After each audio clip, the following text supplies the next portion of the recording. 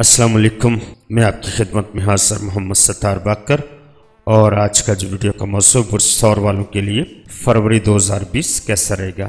تو دوستو، ویڈیو کو آگے بڑھانے سے پہلے میں تمام ان خواتین حضرات سے گزارش کروں گا جنہوں نے ابھی تک بھی میرا YouTube channel astrology with M S Baker کو سبسکرائب نہیں کیا تو وہ سبسکرائب کر لیں۔ برج میزان اور برج سور کے لیے بہت اچھا وقت آ رہا ہے۔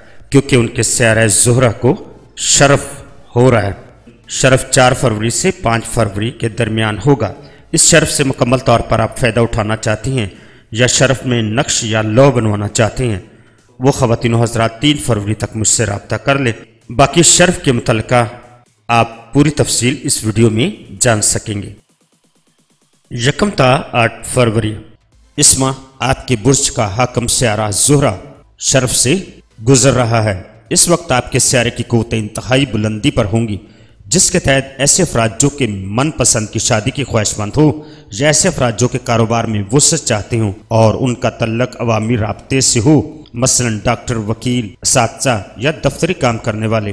ملازمین افسران بالا کو تسکیر کرنا چاہتے ہیں یا ان ایام میں کسی خاص عورت یا مرد کو تسکیر چاہتے ہیں یا اپنی مرض سے شفا چاہتے ہیں، تو ان ایام میں شرف زہرہ بنوا کر پاس رکھنے سے ان کے مقصد کی تکمیل مکمل ہوگی۔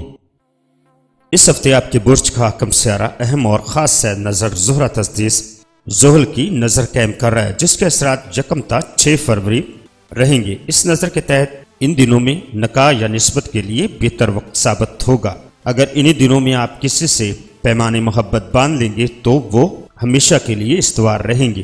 مالدار خواتین سے تعلقات قائم رہے تو اس ہفتے کافی زیادہ آپ کو مالی فائدہ بھی ممکن ہے۔ اپنی شاندار شخصیت کی بدولت نئے تعلقات سے بھی فائدہ اٹھا سکتے ہیں۔ اس دوران میں آپ کو کوئی سفر بھی پیش آ سکتا ہے۔ نو تا سولہ فروری۔ اس ہفتے آپ اپنی صحت کا خاص خیال رکھیں۔ آپ کی طبیعت اچانک بھی خراب ہو سکتی ہے۔ اپنے دشمنوں سے محتاط رہیں۔ وہ آپ کو نقصان پہنچانے کے لیے کوئی بھی حربہ استعمال کر سکتے ہیں۔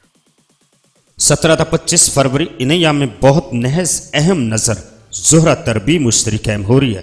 اس نظر کے تحت اس ہفتے آپ کو قریبی عزیزوں سے بھی نقصان پہنچ سکتا ہے اور ایک ایسی جگہ سے بھی رقم یا مالی نقصان کی توقع ہے جو کہ آپ کے ویم و گمان میں بھی نہ ہوگا۔ کاروباری حالات بھی بہتر نظر نہیں آتے۔ غیر شاد شدہ افراد ان دنوں عشق و محبت کے معاملات کے قریب نہ جائیں، ورنہ ورنہ ناکام عشقوں کی طرح انہیں مایوس ہونا پڑے گا۔ اس ہفتے آپ ڈرائیونگ کرتے وقت بھی بہت زیادہ محتاط رویہ اختیار کریں۔ ملازمت پیش افراد لگن سے اپنے کام کی تکمیل کریں گے آپ کے اور دوستوں کے درمیان تعلقات خراب ہونے کا بھی خدشہ ہے۔ اس ہفتے آپ کوئی فائدہ مند معاہدہ بھی طے کر سکیں گے۔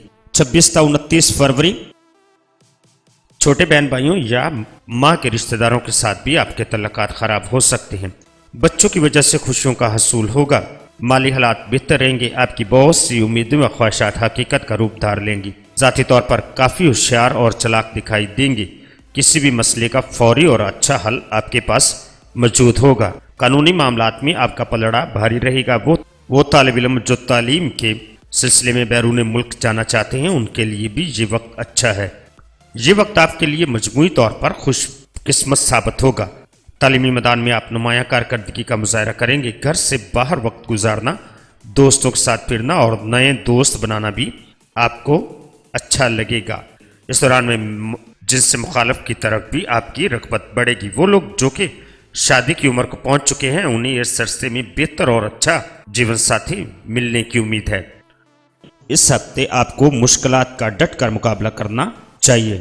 طالب علم اپنی تعلیمی کمی کو پورا کرنے کے لیے بھی تعلیم پر پوری توجہ دیں۔ اہم امور کے سلسلے میں بھی بزرگوں سے مشورہ لینا آپ کے لیے بہتر رہے گا۔ شریک حیات کا تعاون حاصل حال رہے گا۔ موسم کے اثرات سے محفوظ رہنے کے لیے اپنے پروگرام پر عمل کریں۔ کسی خوشی کی خبر ملنے کی بھی امید ہے۔ ان ایام میں گھریلو مصروفیات آپ کی بڑھیں گی۔ اپنے منصوبوں پر کامیابی سے عمل بھی کر سکیں گے۔ کام کی زیادتی کی وجہ سے آپ کو مشکلات کا سامنا بھی کرنا پڑ سکتا ہے۔ تو دوستو اپنا بہت سارا خیال رکھیے گا اور اپنے پیاروں کا بھی خیال رکھیے گا اور مجھے اپنی دعاوں میں یاد رکھیے گا۔ اللہ حافظ، فی امان اللہ۔